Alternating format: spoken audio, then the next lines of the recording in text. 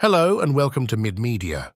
SG Fikile Mbalula says the African National Congress intends to appeal the judgment of the High Court of South Africa in Durban. The ANC will be appealing the matter to stop and prohibit the unlawful use of the ANC's trademarks, symbols, and heritage by Mr. Zuma's party, currently referring to itself as the Umkhonto we Sizwe Party. Um, the African National Congress intends to appeal the judgment of the High Court of South Africa in Durban.